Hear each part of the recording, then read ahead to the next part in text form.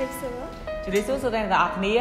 សូមស្វាគមន៍មកកាន់កម្មវិធីអ្នកបន្តវេនថ្ងៃនេះយើងខ្ញុំទាំងពីរនាក់នឹងមកអង្គុយទីនេះដើម្បីធ្វើការឆ្លើយសំណួរជាពិសេសនឹងដោះស្រាយបញ្ហាផ្សេងៗរបស់ fan fan ទាំងអស់គ្នាដែលបានចូល comment នៅក្នុង page របស់អ្នកបន្តវេនហើយជាដំបូងនេះខ្ញុំសូមណែនាំខ្លួនឯងសិនខ្ញុំបាទឈ្មោះមនីបន្ថងគឺជាសិស្សនិទេស A ឆ្នាំ2019មកពីវិទ្យាល័យពោធិ៍សាត់ ហើយប្រហែលជាសិស្សប្អូនមួយចំនួនស្គាល់ខ្ញុំហើយប្រម៉ូទខ្លួនឯងទៀតហើយគាត់ហ្នឹងហ៎ហ្នឹងអូខេនាងខ្ញុំឈ្មោះច័ន្ទសំផមនីតាគឺជាម្ចាស់ជលធីជជែកដេញដោលជាសាធារណៈជាភាសាខ្មែរក្នុងកម្មវិធីអ្នកបន្តវេនហើយពួកខ្ញុំថ្ងៃនេះនឹងធ្វើការបកស្រាយនៅសំណួរដែលបងប្អូនបានខមមិននៅក្នុង page អ្នកបន្តវេនអឺឲ្យបងទាំងអស់គ្នាប៉ុន្តែខ្ញុំអាចនិយាយបានថាចម្លើយដែលពួកខ្ញុំបានឆ្លើយនោះបងអាចយកកាត់ពិចារណាហើយនឹងធ្វើតាមឬអនុវត្តតាមទៅតាមអ្វីដែលបងបានគិតចង់ហើយសង្ឃឹមថារាល់ចម្លើយរបស់ខ្ញុំទាំងពីរនាក់នឹងត្រូវចិត្តបងប្អូនហើយជាពិសេសបើសិនបើមានកន្លែងណាដែលអាចអឺយើងយកឲ្យទៅអនុវត្តបានយើងនឹងជួយចែករំលែកគ្នាហើយជាពិសេសមួយទៀតសង្ឃឹមថាការឆ្លើយផលខ្ញុំទាំងពីរនាក់ហ្នឹងនឹងធ្វើឲ្យការសិក្សារបស់បងប្អូនមានការរីកចម្រើនអូខេឥឡូវយើងកុំឲ្យខាតពេលវេលាយូរយើងនឹងមកឆ្លើយសំណួរទាំងអស់គ្នាសំណួរទី1ហ្មងណាសំណួរទី1 Hello welcome to សំណួរទី1អូខេធ្វើប្រហែលក្នុងការគិតលេខវ៉ាវសំណួរហ្នឹងអូខេអឺបើតាមបទពិសោធន៍ផងខ្ញុំផ្ទាល់ហ្មងណាហ្នឹងហើយ អឺធ្វើប្រហែលមកពីការគិតលេខហ្នឹងគឺមកពីកត្តា3យ៉ាងទី1គឺមកពីយើងហ្នឹងអត់ច្បាស់មេលេខហ្នឹងហើយទី2មកពីអារម្មណ៍យើងហ្នឹងភ័យព្រួយខ្លាំងពេកហើយទី3ហ្នឹងមកពីយើងហ្នឹងអឺលក្ខណៈអត់បានផ្ទៀងផ្ទាត់វាច្រើនដងណាហ្នឹងហើយពេលដែលយើងធ្វើលំហាត់ទៅយើងគួរតែផ្ទៀងផ្ទាត់អឺលេខហ្នឹងឲ្យបានច្រើនដងអញ្ចឹងនៅពេលទៅនេះយើងគួរតែរៀនរំលឹកមេលេខពីដើមហ្នឹងមកបន្ថែមហើយយើងក៏ព្យាយាមអឺ រំលឹកអីចឹងចឹងទៅធ្វើលំហាត់ដោយកំប្រើការចូលកាន់តែល្អអញ្ចឹងធ្វើឲ្យការរៀនរបស់យើងហ្នឹងក៏ប្រសើរជាងមុនដូចដែលគាត់បាននិយាយចឹងអឺការគិតលេខណាយើងត្រូវតែហ៊ានខ្លួនឯងហើយកុំគិតតាមបាក់ឈរព្រោះពេលប្រឡងបាក់ឌុបគេអត់ឲ្យគិតទេអញ្ចឹងព្យាយាមគិតមាត់នួយគិតក្នុងក្រដាស់ទាំងអស់គ្នាអូខេឥឡូវ welcome ទៅសំណួរទីទី2 2ហ្ហ្មមងងណាអូខេបានអីណ៎សំណួរទី2ចេញហើយ ហេតុអ្វីយល់តែសរសេរមិនចេញសំណួរមួយនេះមានអ្នកសួរច្រើនមែនតើហើយខ្លួនឯងខ្លួនឯងផ្ទាល់ហ្នឹងក៏ឆ្ងល់ដែរសុំលើកដៃហ្មងឆ្លើយគាត់នឹងឆ្លើយហ្នឹងហើយអឺហេតុអ្វីយល់តែសរសេរមិនចេញយល់តែសរសេរអត់ចេញហ្នឹងណាមកពីកម្រិតនៃការយល់របស់យើងនៅមានកម្រិតហើយសរសេរអត់ចេញហ្នឹងក៏អាចមកពីថាអឺយើងយល់បែបនេះតទៅពេលសរសេរបែបនោះអញ្ចឹងដើម្បីធ្វើឲ្យការយល់យើងសរសេរចេញយើងគួរតែយល់ឲ្យបានស៊ីជម្រៅជាងមុន ហើយយើងគួរតែមើលនៅរបៀបសរសេររបស់ក្រសួងហើយពីលោកគ្រូអ្នកគ្រូជាពិសេសយើងគួរតែសួរពីលោកគ្រូអ្នកគ្រូថាលោកគ្រូខ្ញុំអឺយល់បែបនេះយើងគួរសរសេរបែបណាបែបណាអញ្ចឹងទៅធ្វើឲ្យការយល់របស់យើងហ្នឹងហើយការសរសេររបស់យើងហ្នឹងគេថាត្រូវស៊ីត្រូវសម្បត្តិគ្នាគ្នាតាមហ្នឹងណាវ៉ាវពេលដែលគាត់បានឆ្លើយប្រាប់មកឡើងយល់ថាហេតុអីខ្ញុំខ្លួនឯងផ្ទាល់ហ្នឹងយល់ហើយសេអត់ចេញឥឡូវយកតាមគាត់ខ្លួនឯងដែរហ្មងហើយអូខេឥឡូវយើងចូលសំណួរទី3ហ្មងបានអីណោះច្រើនទៀតហើយតើមានវិធីអ្វីអត់ឲ្យការរៀន របស់យើងកាន់តែប្រសើរឡើងហឹមបើខ្ញុំតាមកម្រិតខ្ញុំណាការរៀនកាន់តែប្រសើរឡើងមានន័យថាយើងចេះជាងមុនហើយដើម្បីឲ្យចេះជាងមុនមានពីរកត្តាយ៉ាងធំធំអឺទី1គឺកម្លាំងចិត្តហើយទី2នោះគឺគោលដៅ Yes គឺវាផ្ដោតសំខាន់មែនតើរឿងទាំងពីរហ្នឹងជាពិសេសបើសម្រាប់ខ្ញុំផ្ទាល់ណាវិធីដែលធ្វើឲ្យខ្ញុំហ្នឹងរៀនភាសាជាងមុនគឺគោលដៅព្រោះពេលដែលខ្ញុំកំណត់គោលដៅច្បាស់លាស់ហើយហើយខ្ញុំមានកម្លាំងចិត្តទៀតខ្ញុំខំប្រឹងធ្វើធ្វើវាខ្លាំងមែនតើរហូតដល់សម្រេចតែម្ដងអញ្ចឹងអ្នកនរគ្នាក្នុងការរៀនសូត្រត្រូវកំណត់គោលដៅខ្លួនឯងឲ្យឲ្យហើយបំផុតគឺមុនដំបូងធ្វើសួរខ្លួនឯងថាខ្លួនឯងចង់បានទីអីសម្រាប់សិស្សទី12អូខេតោះសំណួរទី4វ៉ាវលើកខ្ពស់ហ្មងណាបានអីទៅណា ពេលគ្រូបញ្យល់ខំមើលខំស្ដាប់ដែរតែដូចជាមិនចូលសោះគ្រូចូលបែបណាសុំលើកដៃហ្មងពេលខ្លះក៏ចឹងដែរហើយជាគាត់ក៏ចឹងហ្នឹងហ្នឹងហើយពេលដែលយើងអឺ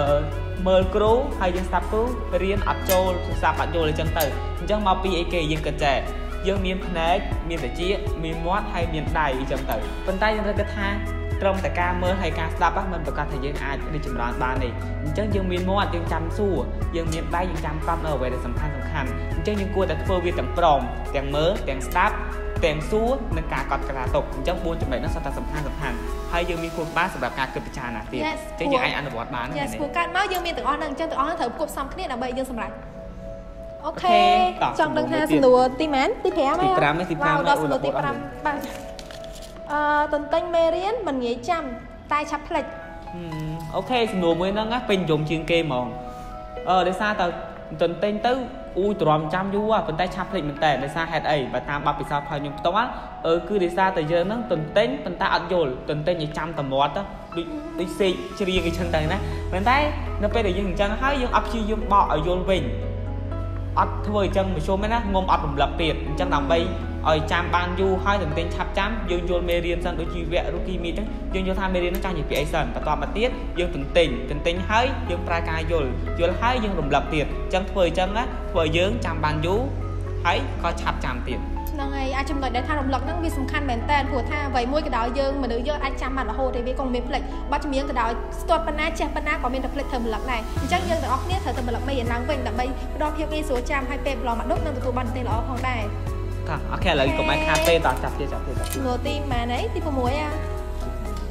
ពេលរៀនអារម្មណ៍មូលប្រហែលអារម្មណ៍គាត់ជ្រុងហ្នឹងមើលទៅហ្នឹងហើយចតកម្មដូចជ្រុងហ្នឹងមើលទៅអូខេឥឡូវយើងខ្ញុំសូមបកស្រាយហ្មងណាពេលរៀនអារម្មណ៍មូលអារម្មណ៍មូលហ្នឹងមកពីអារម្មណ៍យើងរវើរវាយហើយអារម្មណ៍រវើរវាយទីសតហ្នឹងមកពីយើងគិតអីរញ៉េរញ៉ៃច្រើនពេកអញ្ចឹងយើងគួរតែគិតថាខួរក្បាលផលយើងក៏មានកំណត់ផលវាដែរអញ្ចឹងយើងកុំសូវយករឿងដែល ធ្វើបំពល់ចិត្តយើងមកដាក់ក្នុងខ្លួនអាពេលយើងគួរតែគិតរឿងអ្វីដែលល្អល្អពេលដែលពួកខ្ញុំពងរៀនយើងគួរតែនៅគេសាប់គ្រូបញ្យលចង់អារម្មណ៍នឹងការរៀននឹងទៅបើសិនជាយើងមានបញ្ហាអីយើងអាចទៅគួរទៅរកអ្នកគេម្នាក់ប្រឹក្សាយោបល់ដើម្បីដោះស្រាយបញ្ហានឹងឲ្យចប់មកហើយពេលដែលយើងរៀនយើងគិតតែរឿងរៀនអញ្ចឹងយើងត្រូវចេះបែងចែកថាអារម្មណ៍នឹងពេលណាពេលណាពេលណាឲ្យច្បាស់លាស់អញ្ចឹងធ្វើអារម្មណ៍យើងរៀនមូលហើយអញ្ចឹងហើយមួយទៀត បន្ថែមហ្មងណាបើសិនមកពេលយើងកំពុងរៀនមកភ័ក្រយើងញ៉ៃញ៉ៃយើងគួរតែជំរាបប្រាប់គាត់ត្រង់ត្រង់ថាគុំញ៉ៃញ៉ៃអីខ្ញុំត្រូវការចង់រៀនអីចឹងទៅអូខេចំណុចមួយទៀតហ្នឹងយើងត្រូវសួរខ្លួនឯងថាចាតើអារម្មណ៍យកមួយដោយសារមូលហេតុអីព្រោះថាបើយើងរកចំណុចហ្នឹងឃើញយើងដោះស្រាយវាបានហើយហ្នឹងហើយ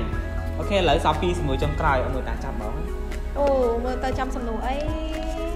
សាទីមើលមិនមកផ្ទះមានអារម្មណ៍ថាខ្ជិលរៀនគិតមកយើង សូម្បីតែនៅក្នុងថ្នាក់ក៏ខ្ជិលរៀនដែរខ្ញុំក៏សូមលើកដៃម្ដងទៀតហ្មងដោយសារហេតុអី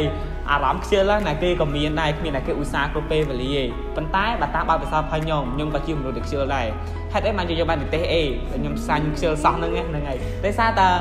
យើងត្រូវចេះដាក់ពោលដៅហ្មងហើយកំណត់ខ្លួនថាមកដល់ផ្ទះគឺត្រូវតែរៀន និយាយរួមខ្ញុំចេញទៅរៀនទាំងខ្ញុំរៀនគួរទាំងខ្ញុំទៅញ៉ាំអីគឺម៉ោង8កន្លះបាទខ្ញុំមកដល់ផ្ទះអញ្ចឹងពិបាកណាប៉ុន្តែខ្ញុំតែយក sticker note មួយទៅសេថាថ្ងៃហ្នឹងរៀនអីខ្លះអីខ្លះហើយបិទនៅមុខតុកខ្ញុំរៀននឹងហ្មងអញ្ចឹងតោះតែខ្ញុំអនុវត្តវាពេញលេងតាមការអភិបរបស់ខ្ញុំហើយបាទខ្ញុំ ទៅលេងទូរស័ព្ទឬក៏អីចឹងទៅអញ្ចឹងយើងត្រូវតែកំណត់ថាខ្ញុំរាប់ទៅគឺខ្ញុំត្រូវតែរៀនដំបងដំបងបបាតែយូរយូរទៅជាទម្លាប់ស្រួលវិញក៏ប៉ុន្តែនៅទីណាកន្លែងណាក៏ដោយក៏ធ្វើឲ្យយត់មានអារម្មណ៍រៀនបានដែរបើមិនជាយើងខ្លួនឯងអត់គិតថាយើងចង់រៀនអញ្ចឹងសូមអ្នកទាំងអស់គ្នាគិតឡើងវិញថាចង់រៀនឡើងណាហើយប្រកាសខ្លួនឯងហើយពេលរៀនហ្នឹងកុំសឹកដាក់ទូរស័ព្ទក្បែរខ្លួនពេកហ្នឹងហើយចំណុចហ្នឹងខ្លាំងហ្មងតាក់ទាញអារម្មណ៍ហ្មងអត់អូខេឥឡូវសំណួរចុងក្រោយអូបើច្រាស់ទៀតចង់ក្រោយបាត់ហើយតន្ទិញរូបមន្តអត់ចាំសង ទន្ទិញរូបមន្តអត់ចាំសោះតាមពិតទន្ទិញរូបមន្តអត់ចាំមកពីយើងអត់ឧស្សាហ៍ធ្វើលំហាត់ពេលខ្លះរូបមន្តខ្លះយើងចេះតាហ្នឹងយើងប្រើតាហ្នឹងអញ្ចឹងអត់ល្អទេយើងគួរថាថាឧបមាថាពេលវេស្មើនឹងអិនអែទេរូបមន្តរោគហ្នឹងចាំជាងគេមកអញ្ចឹងយើងគួរតែគិតថាតើរូបមន្តមួយហ្នឹងយើងប្រើនៅក្នុងពេលណាហើយមានបំរាប់អីខ្លះ អីចឹងចឹងទៅអញ្ចឹងយើងគួរតែយល់ពីបាតុភូតវាច្បាស់បន្តមកទៀតយើងឧស្សាហ៍រំលឹកវាយើងយកกระดาษសមួយមកយើងមកសរសេររំលឹកមេរូបមន្តនឹងមកវិញទៅហើយយើងឧស្សាហ៍ធ្វើលំហាត់តាក់ទងមួយវាទៅធ្វើបែបនឹងជាប្រចាំអញ្ចឹងធ្វើឲ្យការចងចាំរបស់យើងស្ទាត់ជំនាញជាងមុនហើយកាន់តែប្រសើរទៀតហ្នឹងហើយដូចគាត់បាននិយាយចឹងគាត់បាននីតិអេក៏ដោយសារតែមូលហេតុទាំងអស់នៅគាត់បាននិយាយដែរអញ្ចឹងបងប្អូនណាដែលចង់បាននីតិអេដូចដូចគាត់អាចសាកអនុវត្តបានហើយនឹងយកទៅគិតទាំងអស់គ្នាអូខេឥឡូវជំនួយយើងអស់ហើយហើយ វីដេអូនេះក៏ចិត្តចប់ដែរ okay ហើយហ្នឹងហើយឥឡូវសុំនិយាយមួយណា okay និយាយមុនហ្មងអញ្ចឹងចង់និយាយអីមិញបើសិនជាអ្នកទាំងអស់គ្នាចង់បានចំណេះដឹងប្លែកប្លែកកុំភ្លេចចុច like page អ្នកបន្តវេនហើយបើសិនជាចង់បានចំណេះដឹងបន្ថែមឬមានបញ្ហាអីអាច comment នៅវីដេអូខាងក្រោមនេះហើយសង្ឃឹមថាអ្នកទាំងអស់គ្នានឹងពេញចិត្តជួយ like share page អ្នកបន្តវេនសូមអរគុណ